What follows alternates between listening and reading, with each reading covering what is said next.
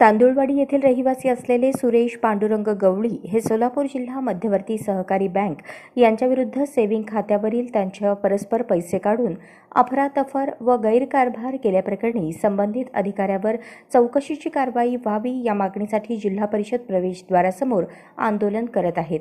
याविषयी अधिक माहिती अशी सुरेश गवळी हे तांदुळवाडी येथील रहिवासी असून सोलापूर जिल्हा मध्यवर्ती सहकारी बँक शाखा रिधोरे तालुका माढा.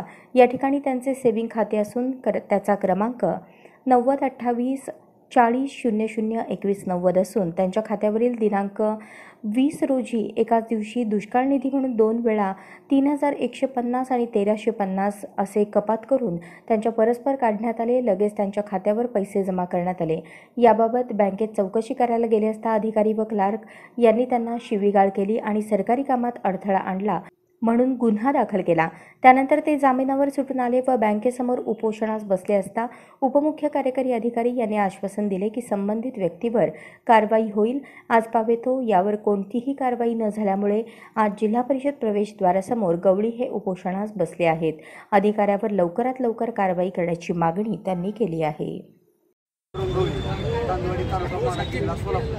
माडा जिल्हा मध्यवर्ती बँक शाखा येथे खाते आहे. माझ्या माझ्या खात्यातील सेविंग खात्यातील परस्पर चार हजार पाचशे रुपये विड्रॉल केले आहे त्याच्यावर मी वारंवार तक्रारी. माझ्यावरच त्यांनी गुन्हा दाखल केला आहे.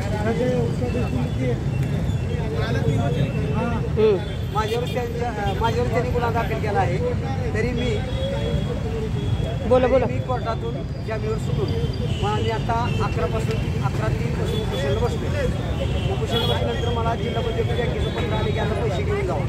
तर पैशासाठी नाही म्हणलं साहेब. माझ्या खात्यातून माझ्या प- पैसे काढलेत परस्पर त्या पाच जणांवर गुन्हे दाखल करा. त्याशिवाय मी माघारी घेत नाही. बँकेचं आता पत्र आलंय तुम्हाला? हा बँकेत पत्र आले मला पैसे घेऊन जावं. मग कशासाठी इतके दिवस काढून घेतले होते म्हणून? पाच वर्ष काही भुकली होती काय आणि डी डी आरची आता पोलीस साहेब आहेत. त्यांचं मला पत्र यांच्यावर कारवाई करा म्हणून. आता डी डी आर साहेब स्वतः प्रश्न काय मग गप्पा बसतात मला हेच काय कळणार या बातमीपत्राचे प्रायोजक आहेत हॉटेल चित्रा एक्झिक्युटिव्ह.